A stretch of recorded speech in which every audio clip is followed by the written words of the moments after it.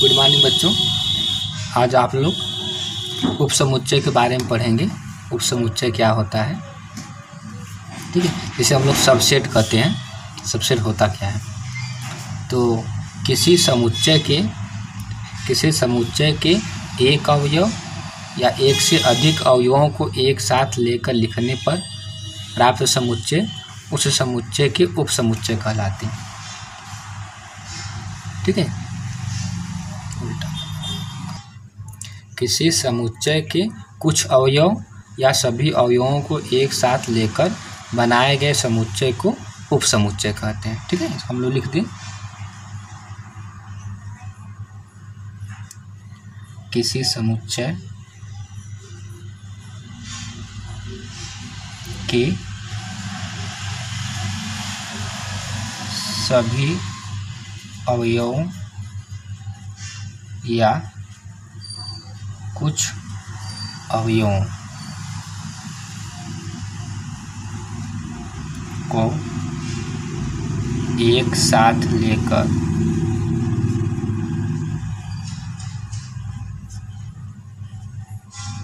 बनाया गया समुच्चय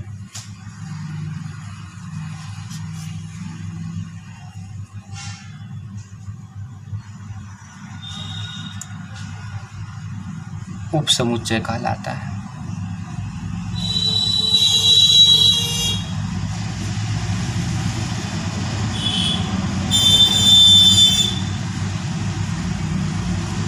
ठीक है?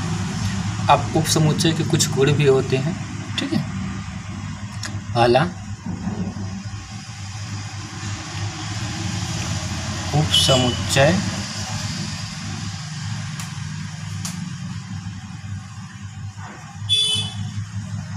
ज्ञात करने की विधि।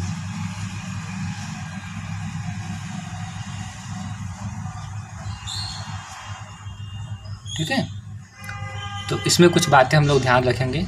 पहली बात कि किसी भी समुच्चय का उपसमुच्चय फाई जो होता है, रिक्त समुच्चय, जो रिक्त समुच्चय होता है, वह सभी समुच्चयों का उपसमुच्चय होता है। हमें यहाँ ध्यान देना है कि जो रिक्त समुच्चय होता है, वह सभी समुच्चयों का उपसमुच्चय होता है। तो पहला टॉपिक हम लोग यहाँ पे याद कर लेंगे कि जो रिक्त समुच्चय है रिक्त समुच्चय, जिसे हम लोग फाई से दिखा, जानते हैं, रिक्त समुच्चय सभी समुच्चयों का उपसमुच्चय होता है।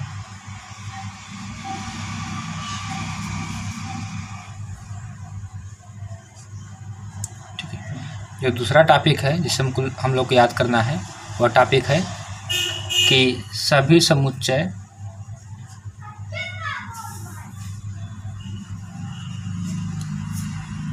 स्वयं का उपसमुच्चय होते हैं।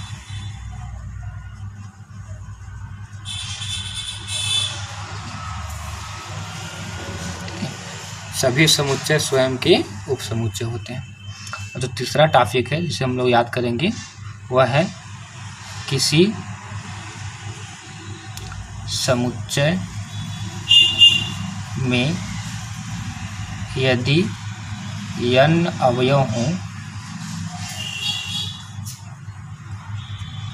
तो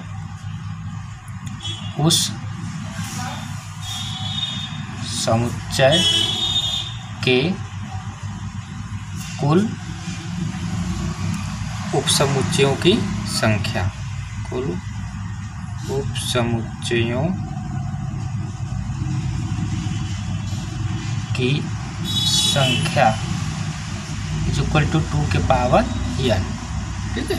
उपसमुच्चयों की संख्या होती है टू के पावर एन अब जैसे एग्ज़ाम्पल हम लोग देख रहे हैं यहाँ पर, दिया रहेगा कि यदि एक बात और ध्यान दें आप लोग, जो उपसमुच्चय होता है उसको हम लोग कैसे प्रदर्शित करते हैं, ठीक है? तो उपसमुच्चय,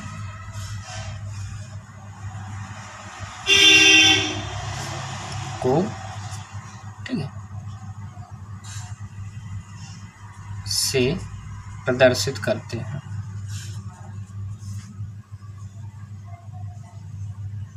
यह सबसेट का चिन्ह है, ठीक है? जैसे यहाँ लिखा है A subset B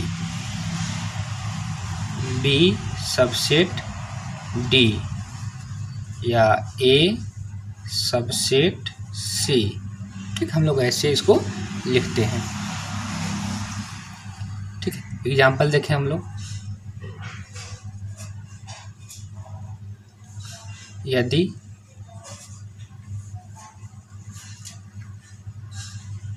समुच्चय ए इज़ इक्वल टू, कोई हम लिख लें यहाँ पे, टू, थ्री। हो तो समुच्चय ए के उपसमुच्चयों को लिखिए।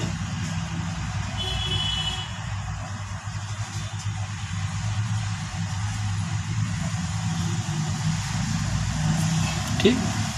तो हम लोग हल में दिया है। दिया है। समुच्चय ए इज़ इक्वल टू जो हमको दिया गया, समुच्चय हमें क्या है?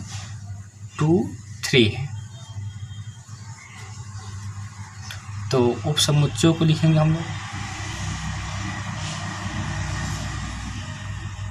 उप समुच्चय तो सबसे पहले जो उप समुच्चय होता है, किसी भी समुच्चय का जो उप समुच्चय होता है, वह रिक्त समुच्चय होता है फाई होता है। जिसको हम लोग लिख देंगे यहाँ पे फाई फिर फिर किसी एक एलिमेंट को लेकर हम लोग लिखेंगे। यहाँ पे दो को लिख लिए तो ये दो उप समुच्चय हो गया।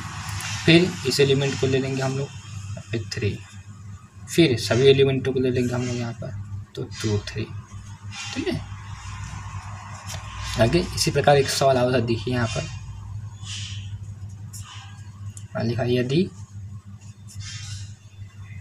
अव्यव सॉरी यदि समुच्चय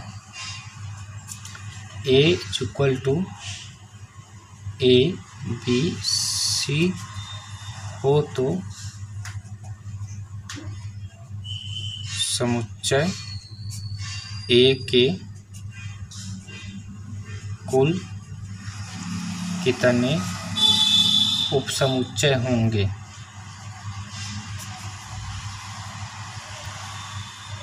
तथा उन्हें भी लिखिए।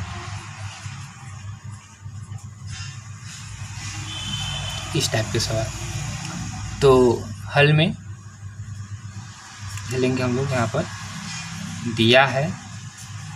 Set A is equal to A B C तो इसमें दो सवाल किया गया है। पहला है कि अभी समुच्चय ए दिया गया है। इसमें उप समुच्चयों की कुल संख्या, कितनी संख्याओं की संख्या पूछा गया है, उसके बाद उन्हें लिखने के लिए भी कहा गया है। तो उप समुच्चयों की जो संख्या होती है, वो टू के पावर यन होती है। जहाँ जो यन है वह अवयवों की संख्या है। तो लिखेंगे यहाँ पर, समुच्चय ए में अवयवों की संख्या अवयवों की संख्या n बराबर टू तो उपसमुच्चयों की संख्या लिख लें हम लोग। उपसमुच्चयों की संख्या, इसका सूत्र हम लोग को पता है। टू की पावर n होता है सॉरी इसमें तीन एलिमेंट हैं A B C three element है यहाँ पर, ठीक है? One two three three element है। टू के पावर एन तो टू के पावर थ्री सॉल्व कर लेंगे तो ये हो जाएगा एट ठीक है? अब कहा गया है कि उन उपसमुच्चयों को भी लिखिए, ठीक है? तो उपसमुच्चय को लिखिए आप।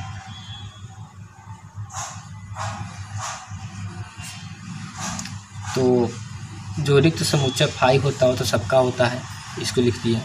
अब एक एलिमेंट को लीजिए पहले सिंगल सिंगल एलिमेंट ए हो गया। फिर इस एलिमेंट को लीजिए तो बी हो गया, ठीक है? फिर इस सिंगल एलिमेंट को लीजिए तो ये हमारा एस एस हो गया।